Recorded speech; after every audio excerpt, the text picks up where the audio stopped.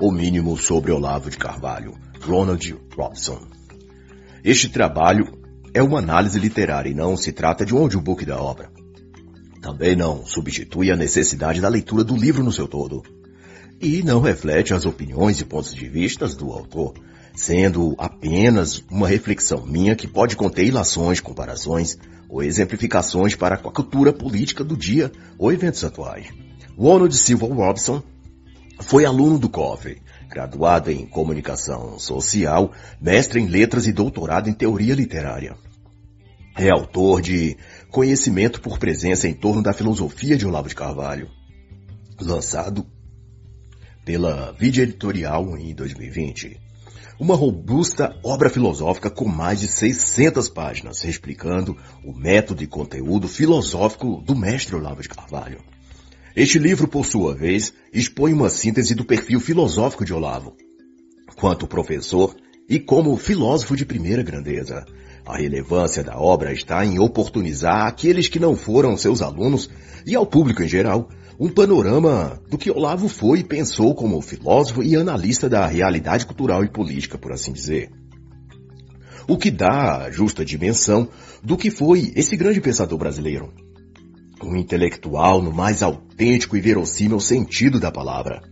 E nesse rumo da conversa, Ronald Robson assevera que a trajetória intelectual de Olavo caminhou sempre no trilho do saber e do enigma, entre aquilo que se sabia e aquilo que ainda estava oculto. O pensamento de Olavo, escreve ele, oscilou constantemente entre o que se sabe e o que se desconhece.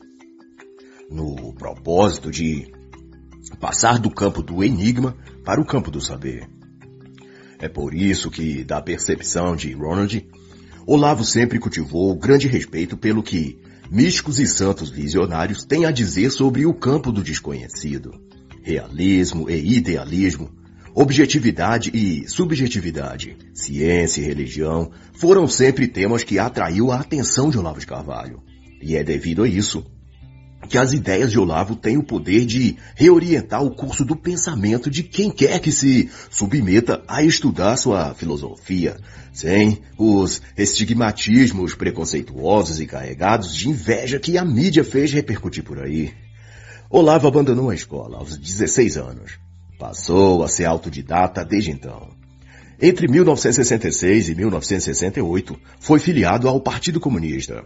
Passou a trabalhar em redações de jornais e em busca de respostas à gradativa perda de identidade da Igreja Católica na época, foi afastando-se dela e mergulhando nos estudos dos esoterismos, sobretudo a nova era, chegando a ser redator de uma revista, a Planeta, dedicada quase exclusivamente a esses assuntos.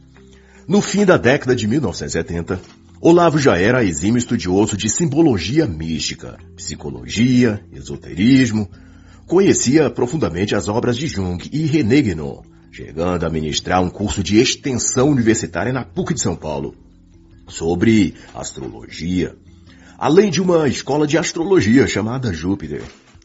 Os detratores de Olavo os progressistas da política e da mídia, ofendidos com as críticas que recebia e não podiam refutar, passaram a usar como xingamento a expressão astrólogo da Virgínia e outros do tipo, mas nenhum deles se debruçou sobre o conteúdo daquilo que Olavo estudava nessa época de pesquisas esotéricas.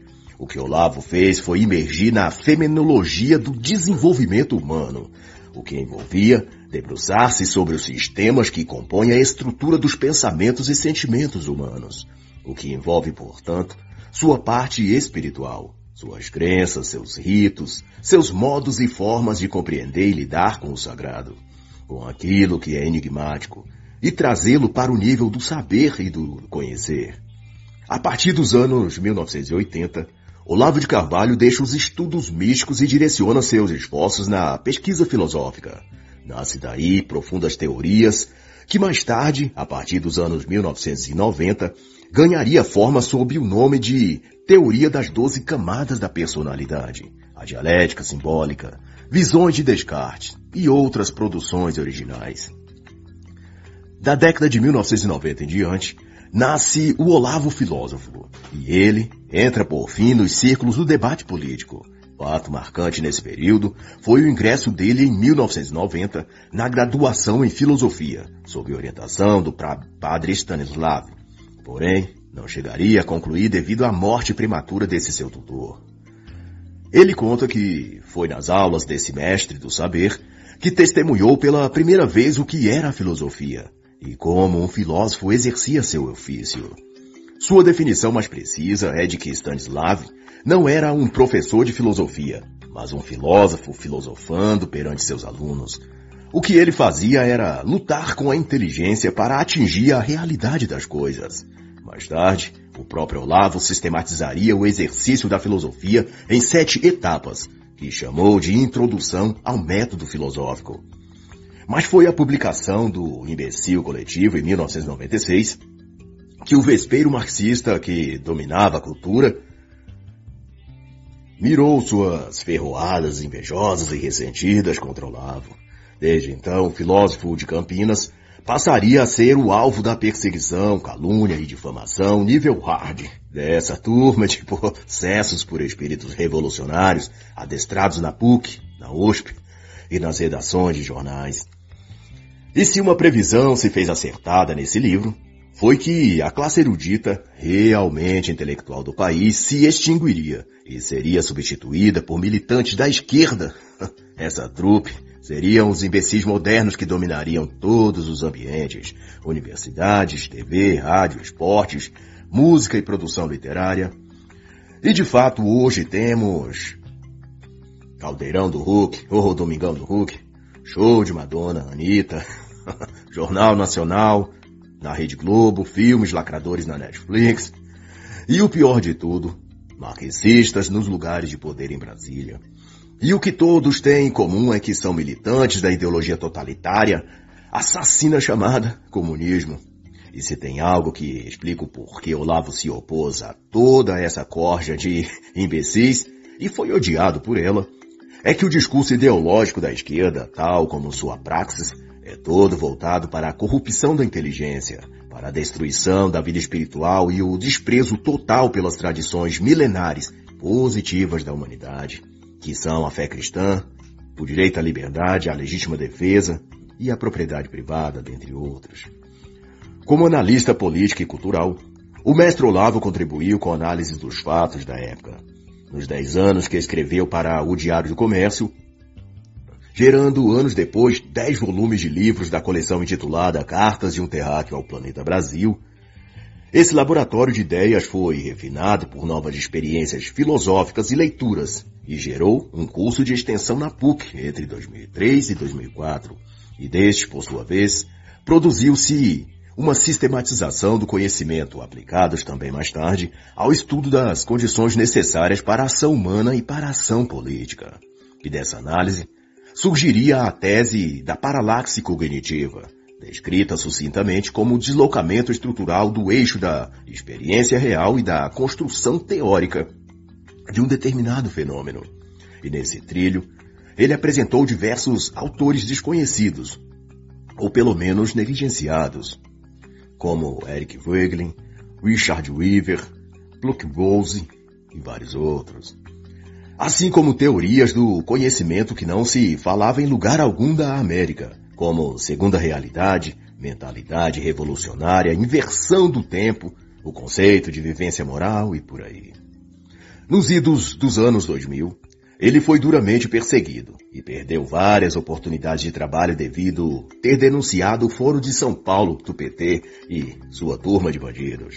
Na época, essa organização agia nas sombras e não queria holofotes mas Olavo chutou o balde deles e expôs o PT, Lula, Fidel e todos os chacais das redes de TV e jornais que acobertavam o esquema latino-americano. No impulso disso, ficou inviável para Olavo continuar no Brasil, sob o custo de sua própria vida e segurança. E então ele mudou-se para os Estados Unidos e de lá iniciou o programa Throughout Speak. Em 2009, iniciou o curso online de filosofia, o famoso COF. E nesse interlúdio, se reconciliou com a verdadeira igreja e voltou a receber os sacramentos. E em 2013, também se tornaria o autor best-seller com a obra O Mínimo que Você Precisa Saber para Não Ser um Idiota, que vendeu centenas de milhares de cópias.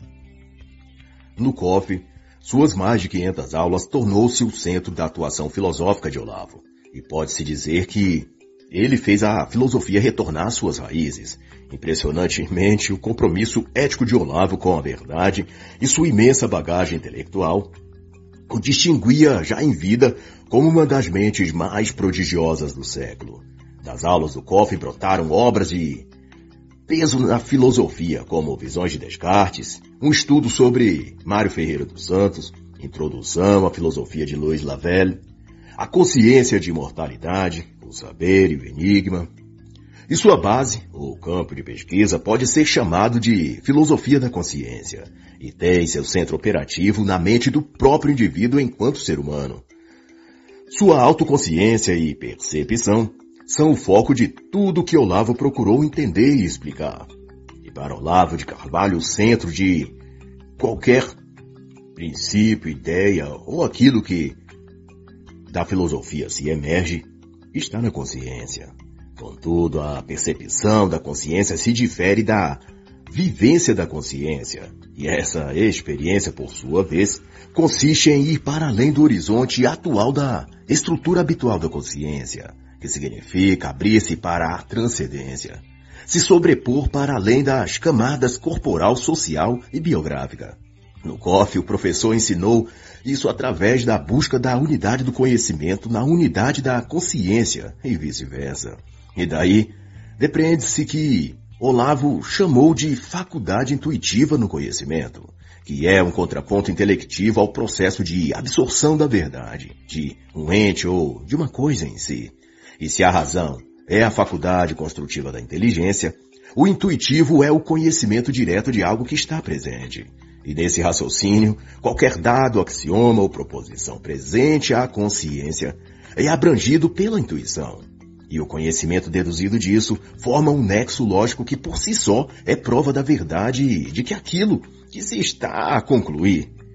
Se a intuição, por sua vez, gera outras deduções e todas são coincidentes e subordinadas umas às outras, então corresponde dizer que o fenômeno ou coisa analisada tem fundamento no real e não se trata de pura bobagem ou abstração. Assim, dizia Olavo, o fundamento de todo raciocínio formal está na intuição, e o fundamento de todo e qualquer conhecimento está no simbolismo natural. E outra assertiva que o filósofo Olavo traz em seu pensamento e reflexão é que tudo o que existe de conhecido e desconhecido está na realidade. Qualquer coisa pensada entrou já na realidade. Na primeira instância disso, sua existência é ideal, e o conhecimento é produzido a partir da análise e depuração se aquilo que foi pensado é capaz de ser também manifestado na realidade concreta. Sair do plano da idealização e assumir um espaço no mundo real, isso determinará se um conceito pode ser tido como verdadeiro ou falso, essa tese passa pelo que o filósofo denominou conhecimento por presença, que em resumo pode ser explicitado no seguinte axioma. A verdade existe na realidade, e não só nos juízos. Ela não é uma propriedade dos fatos, dos juízos ou das relações. Ela é o domínio dentro do qual se dão os fatos, os juízos e as relações. E Olavo depreendeu disso a teoria da verdade como domínio, que denota se algo é verdadeiro e existente ou se é falso e inexistente. E nesse rumo, a filosofia do mestre Olavo, tão robusta quanto o Carvalho, apresentou a teoria dos quatro discursos, poético, analítico, dialético e retórico, que visa identificar a natureza das narrativas e ideias que circulam na opinião pública. Se o que está sendo dito é verdadeiro, possível, provável ou verossímil. Nos seus discursos, os seres humanos estão a abrir a imaginação, é o discurso poético, a tomar a resolução prática, é a retórica, a examinar a base das suas crenças, a dialética, ou a explorar as consequências daquilo que ele assume como verdadeiro. Em suma, o legado de Olavo de Carvalho suplanta o COF e a publicação de livros próprios, o que já é por si só algo de uma grandeza imensa. Mas Olavo também é responsável por abrilhantar a linguagem, a consciência filosófica e intelectual dos brasileiros que a tal se dispõe. Ele deu a todos nós novas chaves interpretativas para entendermos autores como Otto Maria Carpo, Gilberto Freire, Mário Ferreira dos Santos e vários outros. Acessibilizou autores como Constantinoica, Eric Voegelin, Emily Brodot, e foi mentor e ou promotor intelectual da Fundação de Editoras como é Realizações e Vídeo Editorial, que também representam o mercado editorial. E se podemos dizer algo de definitivo sobre sua filosofia, é que Olavo vai no sentido de diluir as construções conceituais que confundem e até obstaculizam a experiência que o indivíduo tem do real. E por último, Olavo não foi um ser imaculado, isento de erros, mas certamente foi um gigante da fonte viva da cultura, foi um mestre, um professor, um predestinado. E o fato dele ter sido odiado e alvo da fofoca de tanta gente, odiado pelo PT, criticado pelo MBL, perseguido pelos jornalistas, insultado pelos católicos progressistas e até tradicionalistas, zombado pelos evangélicos liberais, processado pelo movimento gay, invejado por muitos influências digitais. Tudo isso só mostra a originalidade do seu pensamento e a força de sua sabedoria ao ponto de incomodar os medíocres, os tolos e os imbecis. Assim Olavo viveu e morreu como o maior de sua época e de sua geração. Graças a Deus. E assim está escrito. E Jesus, explicando a parábola, disse: Aqui caiu em boa terra esses são os que, ouvindo a palavra, a conservam, aguardam no coração honesto e bom e dão muitos frutos com perseverança. Lucas 8, 15